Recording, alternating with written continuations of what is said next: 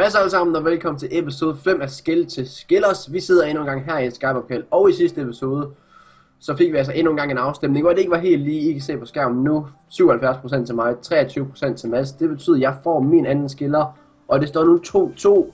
Vi skal begge på jagt efter Chifty.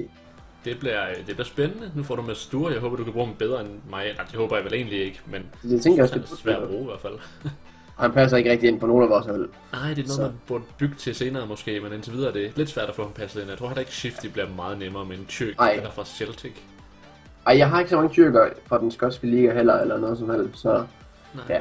Men øh, vi skal begge på jagt efter Chifty, så det kræver, at vi begge virkelig skal koncentrere os og få scoret nogle gode mål den her episode, så det håber jeg ikke, du gør. Nej, i, i lige måde egentlig i det, jeg har tabt de sidste to afstemninger er rimelig stort, men øh, jeg kan da ellers kun sige held og lykke med episoden, og så håber vi, Jo, tak. det bliver en ordentlig episode i hvert fald.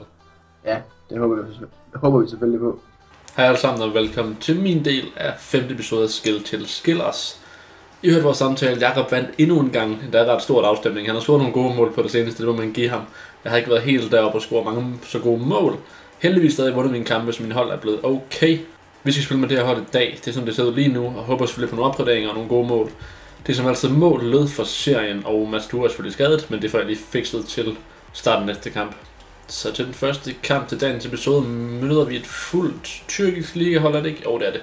Øh, sølv med både rare og non-rare spillere. Det er lidt bedre rated end mit, og noget bedre chemistry.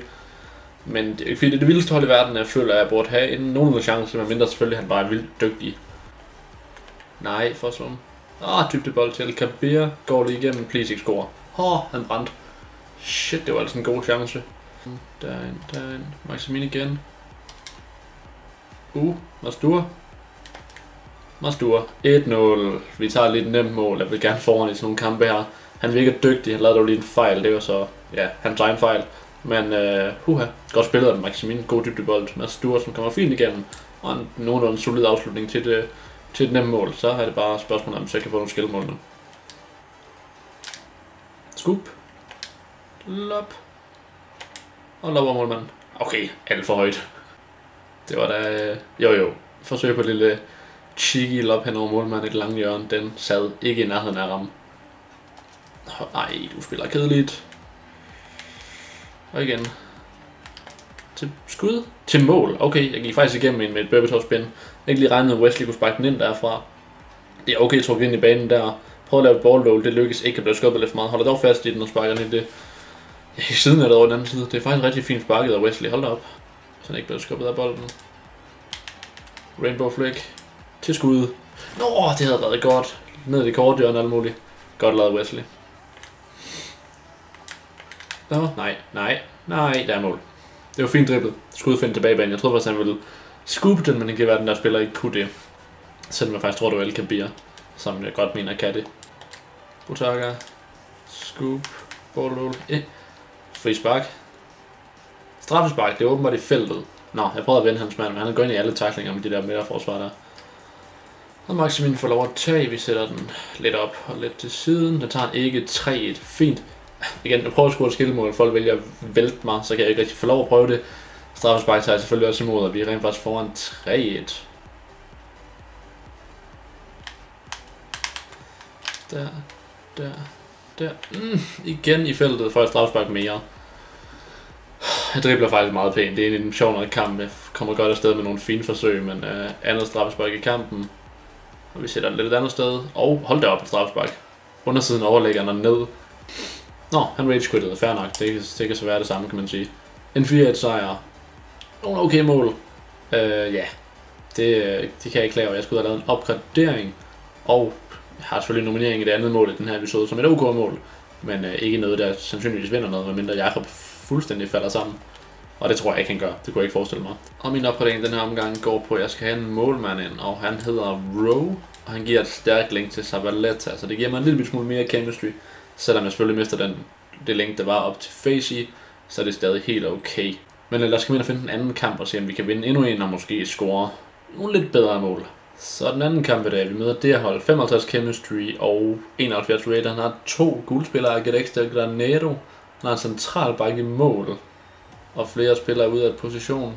Øh, nå, har han tænkt sig at spille den her kamp, så er der mulighed for gode mål. Hvad? Pokker. Der, hurtigt, spil. Forsum. Åh, oh, hvis jeg havde spillet den ind, havde det været flot. Åh, oh, Fossum for pokker. Yasin Benzia skyder et godt stykke over. Havde fornemt, forventet, det her var noget nemmere, men han spiller sådan set meget fornuftigt, på trods af, at hans hold er fuldstændig ude at skyde.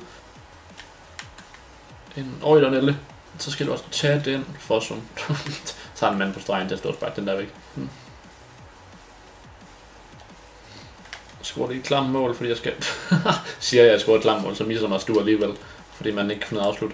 Uh, øh, det er sjovt, ham her, han har det nok det dårligste hold, jeg længe har mødt, og lidt, meget lidt chemistry og sådan noget. Men uh, han spiller væsentligt bedre end ja, de sidste mange modstandere, jeg har mødt i den her serie i hvert fald. Ind til Butaka. Ned i banen. Kort Han scorer ikke. Det er en central bak, der står i mål, skal lige stadig nævnes. Rimelig vild refleksredning af en mand, der ikke engang er en målmand.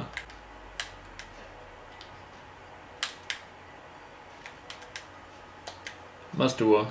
Du kan ikke engang ramme mål. Den her kamp, der skulle være den nemmeste hele den her series forløb, er blevet den sværeste nærmest. Takker. Den Maximin scorer ikke rammer stolpen. Mastur scorer. Tak. 1-0 efter 79 minutter. Den her kamp er latterlig. Jeg har haft alt spillet. Ball roll, ball roll, ind i banen. Og så laver han så også lige straffesparket. Ja, ud af to kampe, jeg har spillet nu her, så har der været, øh, hvad, tre straffespark. Der er altså en grund til, at jeg ikke får lov at score bedre mål. Jeg kan ikke helt komme forbi folk nok, til de ikke kan ramme mig. De øh, vælger bare nok mig alligevel. Og hans centrale bak målmand piller ikke den der super 2-0. Hold kan stille op på, på trods af, at de ingen energi har. Hold op, Benzia kommer afsted. Han angriber også bare stadig nærmest fuld energi, fordi de ikke har lavet noget. 2-1 scorer han til efter 90 minutter. Jeg tror, det er hans første chance på mål i kampen. Jep, færdig. Vinder 2-1 og får endnu en opgradering. Her får jeg i hvert fald ikke nogen bedre mål, altså nogle af de, de gode mål. Shit, hvor skal jeg op mit game i sidste kamp, hvis jeg skal have en episodens mål. Det er også svært. Han er svært at spille mod. Props til ham for at have et dårligt hold, men stadig spille virkelig godt. Ud at lave en opgradering inden den sidste kamp, som skal gå bedre. Ja, og vi kører den opgradering den her gang, at Fossum for faktisk allerede lov at gå ud af, eller ud af holdet, kan man sige. Øhm, ja, det var lidt min plan fra starten, at jeg opgraderede til ham egentlig, at han ikke skulle spille så længe. Selvfølgelig at han får lov at spille nogle flere kampe senere, men vi opgraderede som udgangspunkt lige ham til, hvad jeg tror han hedder, Tizone, tror jeg, jeg kalder ham. Han har et stærkt link til Mastur, som jeg lidt har gået og søgt, og spiller han også i den spanske liga, som burde være rimelig nemt at bygge hold omkring. Um, så de får et stærkt link til hinanden. Fernando Tizones, fornuftig defensiv midt, og holder til næste kamp, og derfor det her, det eneste, jeg har ikke lavet om på noget andet end har fået lov at tage pladsen som min første rare, sølvspiller, jeg har opgraderet til selv. Han har også et guldkort, hvis nogen måske kender til det i stedet for. Men øh, han har også fået et sølvkort i det her spil. Men lad os komme ind i tredje kamp og se, om vi kan vinde endnu en. Og, men jeg vil egentlig hellere score et bedre mål, end jeg vil vinde. Og vi har fået nok opgraderinger egentlig. Så til tredje sidste kamp i dag, vi møder et fuldt bronzehold med 62 chemistry. Det passer heller ikke forfærdeligt godt sammen. Man har dog en målmand i mål, men til gengæld også en hel masse andre spillere ude af position. Kan vi få en nogenlunde nem kamp igen med lidt held? Skyder? Nå, godt stykke over. Nå, ham her starter hurtigt med at spille offensivt. Ui, der var en el. Så skal vi tage den igen. Ikke gå væk fra den. Ui, nej, skyd nu. Ja, okay. Så klager jeg faktisk ikke helt. Det var meget pænt. Øh, jeg mister den vel lidt halvvejs, men resten af finterne er faktisk meget pæne. Der imellem laver reverse elastico over en mand, og så er det alligevel kommer forbi målmanden. Og så lidt fart. Ja.